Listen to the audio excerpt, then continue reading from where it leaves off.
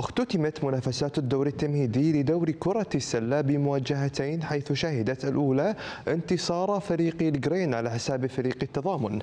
أما قمة الكويت وكاظمة فحسمت بالشوط الإضافي لصالح الأبيض.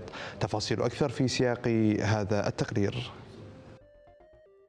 جولة ختامية لمنافسات الدور التمهيدي لدور كرة السلة. لن تقدم أو تؤخر نتائجها لفرق الدور الممتاز الأربعة التي تحددت والفرق الخمسة والتي تحددت أيضا بأن تكون ضمن دور الدرجة الأولى.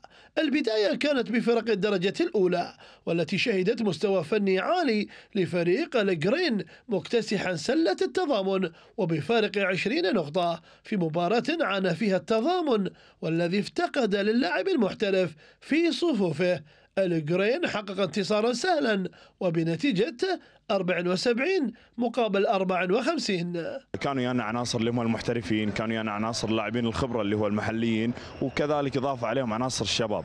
أنت عارف إحنا طبعا بالموسم هذا يعني صارت لنا اللي هو الظروف اللي الفريق يطيح الفريق يصعد آه، بنص الموسم عندنا المحترفين اللي هو انشالوا من عندنا وردينا الحين ثاني مرة من يد جديد. الحمد لله اليوم فزنا وكانوا ويانا اللي هو عناصر المحترفين أول مباراة لهم. زين قاعدين نجهز اللي هو حق الكاس إن شاء الله داشين فيه إن شاء الله اللي هو يعني مثل ما أنت عارف داشين الوي أبيض إن شاء الله. صراحة اليوم أدائنا شوي آه، سيء كان بس قدرنا إن شاء يعني نعدل ال score كثر ما نقدر ونصلح أغلاطنا اللي سويناها طول المباراة. الحمد لله يعني ما توفقنا.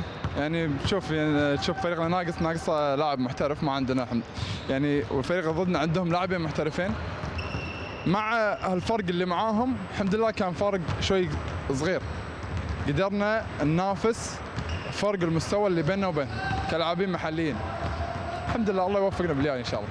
أما في المواجهة الثانية والتي كانت ما بين فريقي الدوري الممتاز الكويت وكاظمة فقد شهدت ندية وإثارة وبروفا قبل مواجهة المربع الذهبي.